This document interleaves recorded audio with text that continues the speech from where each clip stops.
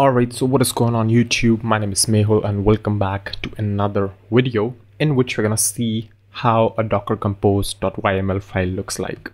So I'm gonna create a file called docker compose.yml and well, technically speaking, this could be any name, but again, Docker defaults to some specific names by default obviously. So um, in this case, that is docker-compose.yml. So if you're running any sort of command here and uh, it involves docker compose, it's going to look for this named file. Obviously, you can change it in the command line when you're executing that. But yeah, for now, you just need to put it the way I have, docker-compose.yml. Now, what's the deal with this file is that you need certain commands in here in order to actually um, you know get started with creating building your containers and running your containers. So the very first thing is the version number. Now docker compose has a lot of semantics a lot of versioning on how docker compose files could be written and the features associated with them. So um, you could write it in either in the version 1 or 2 or 3 i think 3 is not out but yeah anyway. So what you should do is probably go with version 2 point something at the moment. Um, if version 3 is out by by the time you're seeing this video then yeah you can go with that only. On codedamn currently i make use of version 2.4 so there we are. Right so that's it. That's that's a formality you have to do in order to bring in some features and bring out some deprecated features. So anyway the next thing i want to tell you is about services.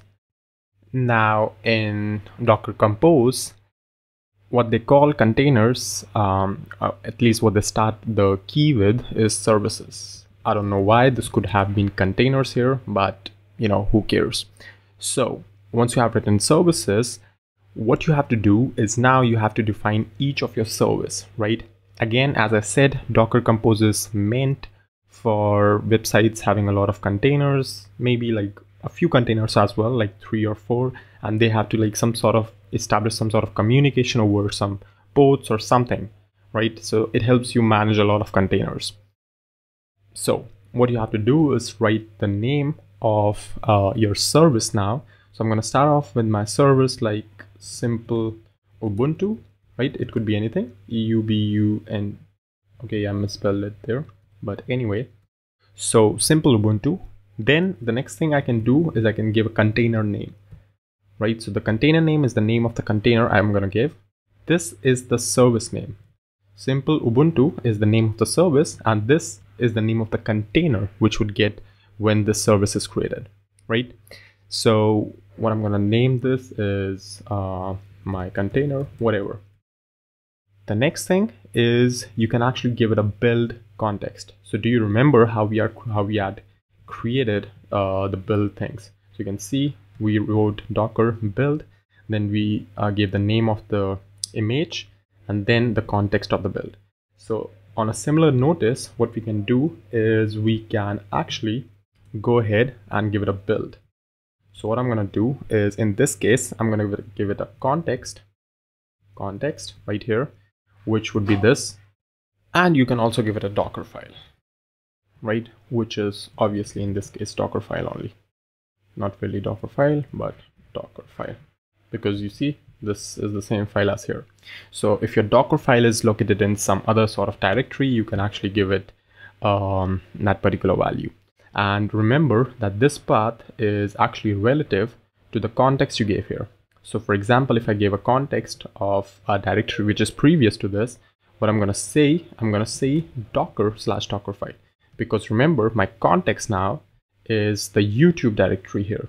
And my Docker file would be inside the Docker folder from the context and then the Docker file, right? So anyway, to avoid confusion, we're just gonna keep it here.